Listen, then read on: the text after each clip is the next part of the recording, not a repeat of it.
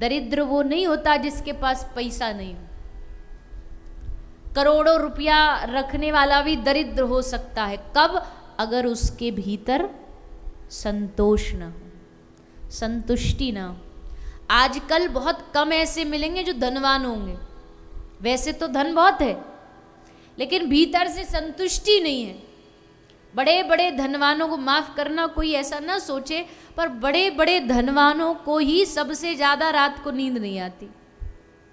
नींद लेने के लिए उनको ही डॉक्टर से जा जा के टेबलेट लानी पड़ती है। बढ़िया एसी चल रहा, पंखा चल रहा, कूलर चल रहा है, बढ़िया मखमल के गद्दा पे सोया है, पर नींद नहीं संतोष नहीं है। आज ये पा लिया, अब वो पाना है, अब वो पाना है। और पाते पाते ये जो दौड़ है ना, ये कभी ख़त्म नहीं होती। जिसके पास जो नहीं, वही पाने की इच्छा बस लगी पड़ी है उसी की दौड़ में लगा पड़ा। जब पैदल चल रहे थे नंगे पाँव तो मन करता था, हे भगवान, एक साइकिल दे दे। भगवान ने साइकिल दी तो फिर मन किया, भगवान, एक साइकिल में तो मेहनत लगती है, स्कूटर दे दे। भगवान ने स्कूटर दे दिया। भगवान, अब स्कूटर नहीं, अब तो वो ब्रुम ब्रुम, वो वाली बाइक चाहिए जो गली से निकले तो सबरा मोहल्ला देखे। ये शर्मा जी का बेटा निकल रहा है। सो भगवान ने वो दे दी। अब भगवान, ये दो पहिया वाली नहीं, अब तो चार पहिया वाली चाहिए। बारिश होती है, तूफ़ान आता है तो उसमें बढ़िया डिब्बी में पैक हो जाते हैं। चार पहिया वाली मारुति दे दी। नहीं नहीं भगवान, अब तो मारुति है तो मॉडल ही ख़त्म हो गया। अब तो भगवान बढ़िया सी कोई लग्जरी गाड़ी दे दे। भगवान ने वो लग्जरी गाड़ी भी दे दी। अब भगवान, अब हमको तुम चार्टर्ड प्लेन दे दो। और उस प्लेन में भी बैठ कर के वहाँ क्या लगता है? जब कोई लंबी फ़्लाइट होती है ना, बारह चौदह घंटा की, और उसमें आदमी कुर्सी पर ऐसे बैठा रहता है तो झाँक करके खिड़की से नीचे देखता है ना, लोगों को पैदल चलते हुए तो मन में आता, काश भगवान हम भी ऐसे नंगे पाँव घास पे पैदल पैदल चल के प्रकृति का आनंद ले रहे होते। तो ये तो पहले भी चल रहे थे। लेकिन इसी साइकिल में हम लोग घूमते रहते, इसी साइकिल में चलते रहते हैं। जिसके पास जो नहीं है, उसको पाने की चाह में, और वही दरिद्र है। सुदामा जी दरिद्र नहीं थे, क्योंकि था नहीं एक रुपया भी इनके पास। पर जब इनसे पूछा जाता कि भैया सुदामा कैसे हो तो बड़े खुश होके कहते, प्रभु की बड़ी कृपा है मेरे ऊपर। भगवान ने मुझ पर बड़ी कृपा कर रखी है। तो क्या कैसे दरिद्र हो गए सुदामा जी? सुदामा से बड़ा तो कोई धनवान नहीं हो सकता। सुदामा जी एक ब्राह्मण का जो नियम होता है, उस दायित्व को निभाते हुए अपना जीवन व्यापन कर रहे थे।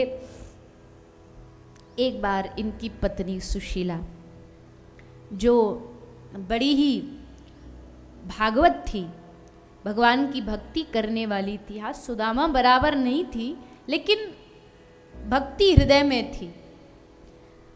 सुदामा जी से निवेदन किया, हे नाथ, कृष्ण आपके मित्र हैं।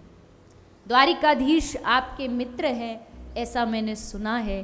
तो आप अपने मित्र से जा कर के एक बार कुछ मांग क्यों नहीं लेते? क्या घर की जो दशा है वो आपसे छुपी है। एक बार जा कर के भगवान से मांग लीजिए।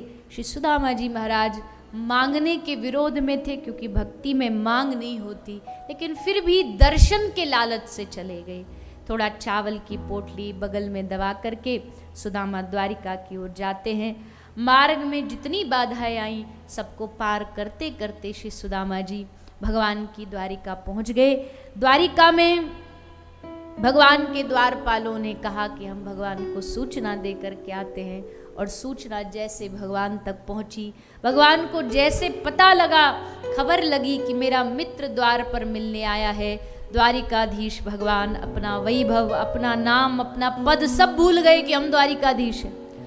और श्री द्वारिकाधीश भगवान नंगे पाँव भागे भागे दौड़े दौड़े गए और जाकर के सुदामा को अपने गले से, अपने कंठ से लगा लिया। दोनों मित्र एक दूसरे के गले लग के खूब रोए खूब रोए। आज तक ऐसा स्वागत द्वारिका में किसी का नहीं हुआ जो स्वागत भगवान ने आज सुदामा का किया। सारी द्वारिका देखती रह गई।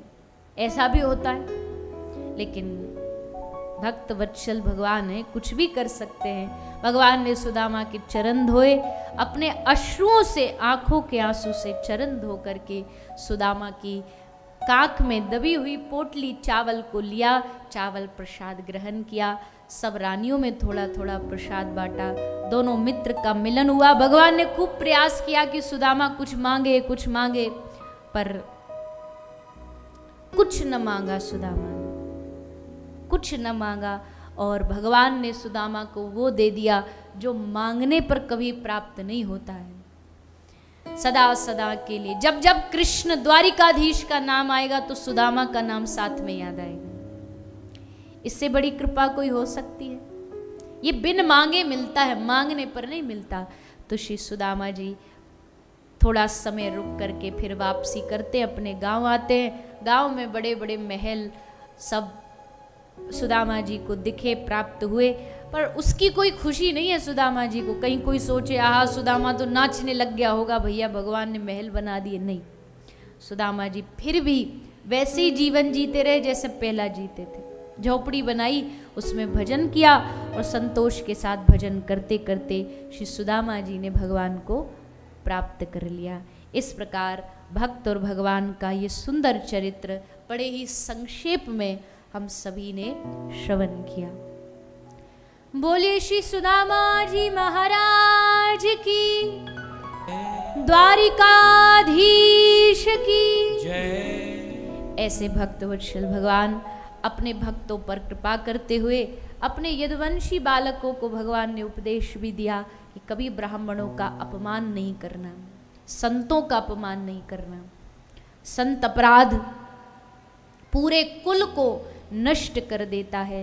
लेकिन ये बात जामवती पुत्र सांब और कुछ यदुवंशी बालक भूल गए और उन्होंने एक संत का जा कर के अपमान किया, जिसके श्राप से यदुवंश का धीरे धीरे नाश हुआ। श्री भगवान भी प्रभास क्षेत्र में जाकर के उद्धव जी को उपदेश देते हुए अपने स्वरूप को भागवत जी में समाते हैं और इस धरती पृथ्वी का छोड़ करके अपनी लीला को विराम करके प्रभु अपने भगवत धाम में प्रवेश हो जाते हैं। इस प्रकार प्रभु की ये पृथ्वी की जो धरती की लीला है, वो विराम लेती है। सुखदेव जी महाराज, ये कथा परीक्षित तो सुना रहे हैं। सूत जी, ये कथा नैमी शारण्य में अठासी हज़ार ऋषियों को श्रवण करा रहे हैं। अंत में भगवान के कुछ और भक्तों की कथा सुनाते हुए भगवान के अवतार हैं श्री दत्तात्रेय भगवान। भगवान दत्तात्रेय की कथा आई। दत्तात्रेय भगवान ने कितने गुरु बनाए? पता किसी को? चौबीस गुरु धारण अब ये दत्तात्रेय भगवान का उदाहरण लेकर के कई लोग अपने भी गुरु बदलते रहते हैं। आज ये वाला पसंद आ गया, आज ये रख लिया, कल वो वाला पसंद आ गया। तो दत्तात्रेय भगवान ने कैसे गुरु बनाए? शिक्षा गुरु बनाए। शिक्षा गुरु चौबीस नहीं, चौबीस हज़ार भी हो सकते। शिक्षा तो किसी से ले लो, जो अच्छी बात लगी, इसने कोई अच्छा काम किया, ये हमारा गुरु। शिक्षा गुरु कितने भी हो सकते हैं, पर मंत्र दीक्षा देने वाले गुरु एक ही होते हैं। ये नहीं बदले जाते।